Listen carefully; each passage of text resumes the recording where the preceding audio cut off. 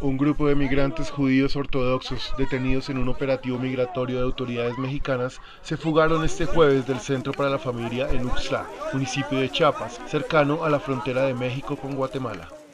Los hechos ocurrieron en la madrugada cuando los menores de edad detenidos y mujeres empezaron a empujar a los guardias de seguridad que cuidaban la puerta principal. Un migrante judío quien decidió omitir su nombre por temor a represalias denunció. Todo esto pasara y querían deportar a toda la comunidad de regreso a Israel y no teníamos ningún crimen adentro del, del refugio como ellos dicen, pero no nos dejaban salir. Eso es una violación al derecho de la libertad, al derecho de ser, de ser religioso. Entre gritos y empujones salieron decenas de judíos que estaban alojados desde el fin de semana pasado. Los migrantes tomaron la carretera con rumbo desconocido en medio de la noche, ya que estaban desesperados por estar encerrados seis días sin que tuvieran respuesta de las autoridades federales para dejarlos salir.